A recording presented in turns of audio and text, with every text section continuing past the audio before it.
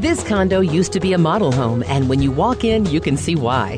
The floor plan is open and inviting with a formal dining room, sunny open kitchen, living room with big windows onto the patio, and a fireplace for winter evenings. With a master bedroom, five piece bath, and laundry on the main level, it's easy living. The finishes are lovely, window coverings unique, and the location is unbeatable in South Fort Collins. Pat Hardy says bring your toothbrush and call it home.